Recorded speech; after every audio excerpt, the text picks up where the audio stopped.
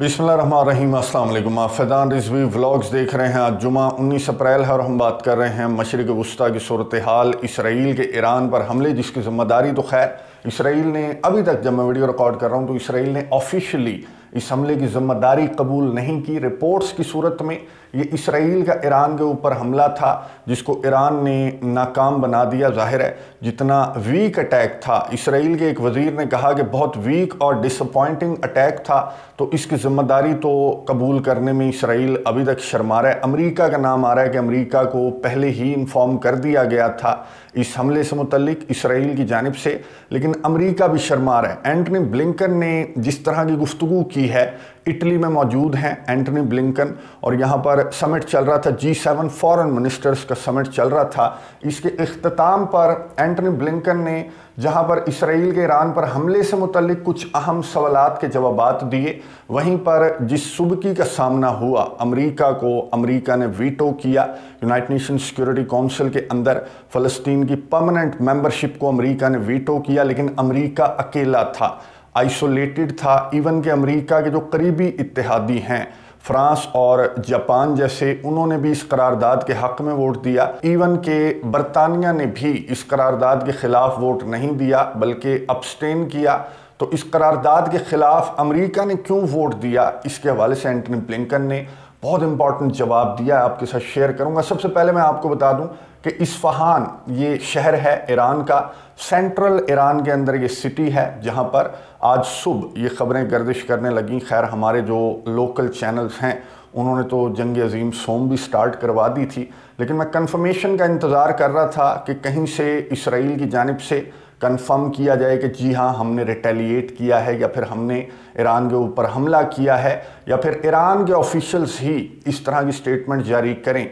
कि इसराइल की जानब से हमला किया गया। ईरान के ऑफिशल्स ने इस वक्त भी, जब मैं वीडियो रिकॉर्ड कर रहा हूँ तो ईरान के ऑफिशल्स ईरान के सदर इब्राहिम रईसी अब से कुछ देर कबल खिताब करके गए हैं, लेकिन अपने खिताब के दौरान भी इब्राहिम रईसी ने इसे इसराइली हमला करार नहीं दिया। बहरहाल, जिस तरह की रिपोर्ट सामने आई और अमरीकी मीडिया ने सबसे पहले रिपोर्ट किया कि ईरान पर जो तीन ड्रोन हमले रिपोर्ट हुए हैं इस्फहान शहर पर, एक एयरबेस के ऊपर ये तीन ड्रोन हमले रिपोर्ट हुए, इसके करीब में ही न्यूक्लियर साइट भी है ईरान के अंदर, इस्फहान शहर के अंदर। तो यहाँ पर अमेरिका के मीडिया ने बताया कि ईरान ने तीनों के तीनों ड्रोन्स को मार गिराया और ये हमला नाकाम बना दिया, जो कि इसराइल का हमला था अमरीकी मीडिया के मुताबिक। अब फॉरेन मिनिस्टर जो इटली के हैं, इटली में मैंने आपको बताया कि जी सेवन समिट भी चल रहा था और यहाँ पर दो रोज से एंटनी ब्लिंकन भी मौजूद थे और दीगर जो जी सेवन फॉरेन मिनिस्टर्स हैं वो भी यहाँ पर मौजूद थे। तो इटालियन फॉरेन मिनिस्टर की जानब से स्टेटमेंट सामने आई कि ये इसराइल का हमला था ईरान पर और इसके हवाले से इसराइल ने अमेरिका को चंद मिनट्स कबल इन्फॉर्म तो कर दिया था, लेकिन अमेरिका इस हमले में इन्वॉल्व नहीं था। यानी कि बहुत ज़्यादा डरे डरे वैसे नज़र आ रहे हैं। कि जी सेवन कंट्रीज़ जो नेटो का जत्था है इवन के इनके जो सरबराह हैं, जो दादा हैं, अमेरिका। एंटनी ब्लिंकन ने भी, सहाफ़ियों की जानब से जितने भी सहाफ़ियों ने सवाल किया, जी सेवन समिट के अख्ताम पर इस प्रेस कॉन्फ्रेंस के दौरान एंटनी ब्लिंकन से तकरीबन हर सहाफ़ी का पहला सवाल यही था कि ईरान पर जो इसराइल ने हमला किया, क्या आपको बताया था क्या खत्े में टेंशन बढ़ सकती हैं, क्या ईरान रिटेलिएट करेगा तो एंटनी ब्लिंकन ने हर सहाफ़ी के सवाल पर क्या जवाब दिया, ये सुनिए उसके बाद बात करते हैं Iran Was the US indeed alerted in advance? How far ahead of time? And did it raise any objections when it was? Are the strikes now over? And do you have any indication at this early stage via direct or indirect messaging that Iran will respond? And have there been any changes in Iran's nuclear program? Thanks, Livia. Um, on the first uh, question, the reports that uh, you've seen, um, I'm not going to speak to that, except to say that the United States has not been involved in any offensive operations. Uh, what we're focused on, what the G7 is focused on, and again, it's reflected in our statement, and in our conversation is our work to de escalate uh, tensions.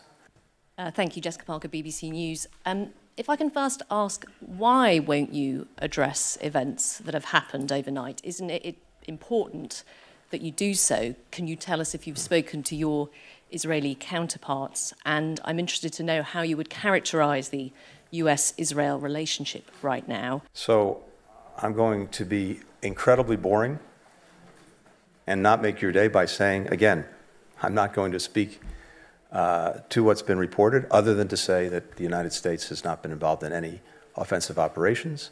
The United States, along with our partners, will continue to work for de-escalation. गुफ्तु आपने सुनी America के secretary of state Antony Blinken की जिन्होंने तकरीबन हर सहाफ़ी के सवाल पर यही जवाब दिया कि अमेरिका इन्वॉल्व नहीं था जहां तक ताल्लुक है इन रिपोर्ट्स का और इटली के फॉरेन मिनिस्टर की स्टेटमेंट का कि अमेरिका को चंद मिनट्स पहले इसराइल ने इन्फॉर्म कर दिया था। उसके हवाले से भी एंटनी ब्लिंकन ने कहा कि मैं आपको बोर कर रहा हूँ और मैं आपको बोर करता रहूँगा, लेकिन मैं आपको इस सवाल का जवाब बिल्कुल भी नहीं दूँगा। लेकिन रिपोर्ट से और इटालियन फॉरेन मिनिस्टर की स्टेटमेंट से वादे है और एंटनी ब्लिंकन जिस तरह से घबरा रहे थे, शर्मा रहे थे इन सवाल का जवाब देने से तो उससे भी वादे है कि अमेरिका को इसराइल ने चंद मिनट्स कबल इन्फॉर्म करके ये थका हुआ हमला किया, जिसे वीक अटैक कहा। इसराइल के ही एक मिनिस्टर ने एक ट्वीट की और कहा कि वीक और डिसअपॉइंटिंग अगर ये इसराइल का अटैक था तो बहुत वीक और डिसअपॉइंटिंग अटैक था। अब ये जो ट्वीट थी इस मिनिस्टर की, इस पर जो यही लपीड हैं, जो अपोजिशन लीडर हैं, उन्होंने और दीगर जो इसराइल के वज़रा हैं, उन्होंने बैन गिवेयर को आड़े हाथों लेना स्टार्ट कर दिया है कि किस तरह की तुमने ट्वीट की है।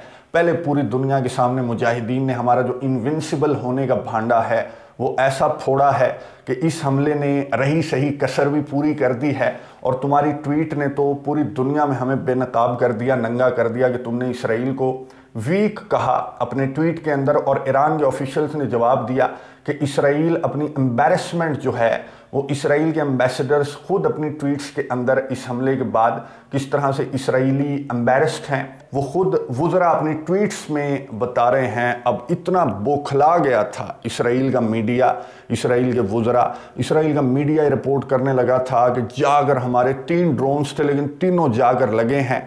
ईरान की एयर बेस के ऊपर कहीं पर जो एनालिस्ट्स हैं, मैंने गुफ्तगु सुनी, एक सहूनी मीडिया के ऊपर एक एनालिस्ट बैठा था, उसने कहा, हमने सिर्फ़ मैसेज देना था ईरान को कि न्यूक्लियर साइट्स तुम्हारी दूर नहीं हैं और हम तुम्हारी न्यूक्लियर साइट्स तक भी पहुँच सकते हैं। तो हमने सिर्फ़ मैसेज दिया है, ये लिमिटेड अटैक था, हमारा कोई मूड नहीं है खत्े में एक बड़ी जंग छेड़ने का या फिर ये अफोर्ड नहीं करते जितनी मार इन मुजाहिदीन से पड़ रही है, हमास के मुजाहिदीन। हिजबुल्ला के मुजाहिदीन की जानब से जिस तरह के हमले रिपोर्ट हो रहे हैं तो ये ईरान के साथ ये पंगा अफोर्ड नहीं करते, बिल्कुल भी नहीं करते। इसी वजह से इनकी जानब से आए बाएँ शाएँ करने की कोशिश की जा रही है। मूड इनका पूरा था। इनका मूड पूरा था ईरान को डैमेज करने का और अभी भी है।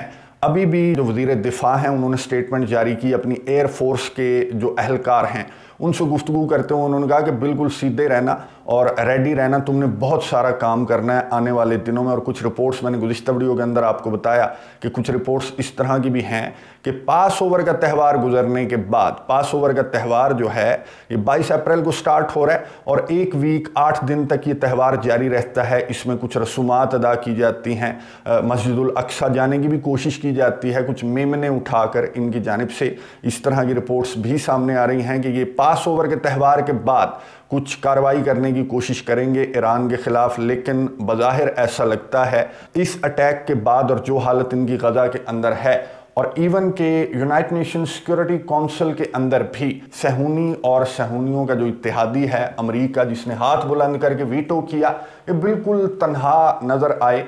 इवन के जो इनके करीबी इतिहादी हैं, जैसे कि फ्रांस है या फिर जापान है, इन्होंने भी इस करारदाद के हक में वोट दिया यूके ने अपस्टेन किया। लेकिन सिर्फ़ अमेरिका अकेला था जिसने वीटो किया और इस करारदाद के ख़िलाफ़ वोट दिया। पूरी दुनिया की जानब से इस पर रिएक्शन भी सामने आ रहा है। इनके अपने इतिहादियों की जानब से रिएक्शन सामने आ रहा है। यानी कि अमेरिका की पॉलिसी जो मशरक वस्ती पॉलिसी है, वो मुकम्मल तौर पर नाकाम नज़र आ रही है। अब रिपोर्टर ने सवाल किया एंटनी ब्लिंकन से कि इसे तो छोड़ दें, इसको तो आपने आए बाएँ शाएँ करना है और हमें बोर करना है। इस सवाल का जवाब दे दें कि यूनाइट नेशन सिक्योरिटी काउंसिल के अंदर आपके साथ क्या हुआ? तो एंटनी ब्लिंकन ने रीज़न क्या बताई? वीटो करने की बहुत इंपॉर्टेंट जवाब है सुनिए उसके बाद बात करते हैं Uh, your allies, close allies, France, Japan, and South Korea, both voted for admitting Palestine as a member. The Israelis, including Netanyahu, on the record saying they oppose two-state solution. So what is the path forward, and what message do you give to Palestinians and to moderates in the region if you truly want to isolate extremists? Thank you. Uh, finally, on the UN Security Council resolution, First, we are committed, the United States is committed to achieving a Palestinian state. We believe that that is vital to having long term, sustainable, durable peace and security. And of course, it's the only way to fulfill the aspirations, clearly not in the interests of anyone, uh, including the Palestinians, particularly given uh, the contributions we make to programs that are vital to them. But as I said, we're committed to working to achieve a Palestinian state with the necessary guarantees for Israel's security. Um, and we've been working on that, including as part of the potential normalization process between Israel and Saudi Arabia, something that we've intensely engaged on uh, over the last several months and, uh, and, and, weeks. So you can see uh, an important path forward that, that's there. Uh, and in fact, we saw it uh, in the wake of the unprecedented Iranian attack on Israel. You can see for Israel a future where a coalition of countries are working together, working together to deal with the Iranian threat and to isolate it, with Israel that's integrated into the region, with normal relations with its neighbors, and a resolution to the Palestinian question, which is necessary to really um, deep root and, uh, and achieve that coalition.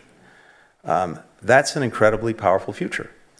It answers what Israel has long sought which is to have normal relations throughout the region. गुफ्तगू आपने सुनी America के secretary of state Antony Blinken की, जिन्होंने सहाफ़ी के सवाल पर जवाब देते हुए कहा कि अभी सही वक्त नहीं है। फ़लस्तीन की अकवा मुतहदा की परमानेंट मेंबरशिप का अभी सही वक्त नहीं है। अभी हमें बहुत कुछ करना है। इसराइल की सिक्योरिटी को लेकर बहुत कुछ करना है। इसराइल की मशरक वस्ती के अंदर अरब कंट्रीज़ के साथ जो नॉर्मलाइजेशन है, उसको लेकर हमें बहुत कुछ करना है और हम बहुत कुछ कर भी रहे हैं। कई महीनों से सऊदी अरब और इसराइल के दरमियान नॉर्मलाइजेशन को लेकर हम बड़ी मेहनत कर रहे हैं। क्या आप उस मेहनत पर पानी फेरना चाहते हैं? ये करारदाद अगर मंजूर कर ली जाती तो वो नॉर्मलाइजेशन की जो बातचीत है, वो रुक जाती। तो to cut the story short ये डिपेंड करेगा सऊदी अरब और अमेरिका के मजाकरात पर कि फ़लस्तीन टू स्टेट सोलूशन या फिर फ़लस्तीन की परमानेंट मेंबरशिप का जो नुक्ता है, वो तब सामने आएगा जब सऊदी अरब और अमेरिका और इसराइल के दरमियान कुछ मामला तय पा जाएँगे। अब मैं आपको ये बता दूँ कि सऊदी अरब ने दो मुतालबात रखे हैं। पहला मुतालबा सऊदी अरब का ये है कि आपने टू स्टेट सोल्यूशन पर आना है, फिर हम तस्लीम करेंगे इसराइल को। और दूसरा, हमें आर्टिकल फाइव जैसी सिक्योरिटी गारंटीज चाहिए खत्े के अंदर। अगर सऊदी अरब को कहीं से भी कोई थ्रेट है तो फिर अमेरिका आर्टिकल 5 जो नेटो का आर्टिकल 5 है, आपको मालूम है कि सऊदी अरब पर हमला, अमेरिका पर हमला कंसीडर किया जाएगा। तो ये दो नुकात, ये दो मुतालबात हैं मोहम्मद बिन सलमान के। जिसके बाद ये जो टू स्टेट सोल्यूशन है, या फिर फ़लस्तीन की परमानेंट मेंबरशिप है, ये एमबीएस को कुछ फ़वाद मिलेंगे तो फिर फ़लस्तीन को उसके बदले में एमबीएस कुछ फ़वाद देने के लिए तैयार हैं। आज जो कुछ यूनाइट नेशन सिक्योरिटी काउंसिल के अंदर हुआ, उस पर सऊदी अरब की जानब से वही मजम्मती अलामिया ही सामने आया है। तो इस तरह के आने वाले दिनों में मज़ीद भी अगर इजलास बुलाए जाते हैं तो उसका कुछ फ़ायदा नहीं होगा। एक बहुत इंपॉर्टेंट स्टोरी है, जो अभी चंद मिनट्स कबल सामने आई कि फ्रांस में, पेरिस में जो ईरानी कौंसल खाना है, उस पर खुदकुश हमला करने की कोशिश की है किसी दहशत गर्द ने, जिसको नाकाम बना दिया है फ्रांस की पुलिस ने और इसे गिरफ़्तार कर लिया गया है इस हमला अवर को, जो कि ईरानी कौंसल खाने को उड़ाना चाहता था। अगेन, मुझे लगता है कि वही एम्बेरसमेंट है, ये वही वीक अटैक वजह बना कि अब इस तरह की कार्रवाइयाँ भी सहूनियों की जानब से या फिर सहूनियों के जो दज्जाली एजेंट्स हैं, वो इस तरह की कार्रवाइयाँ करने की भी कोशिश करेंगे ईरान के ख़िलाफ़, क्योंकि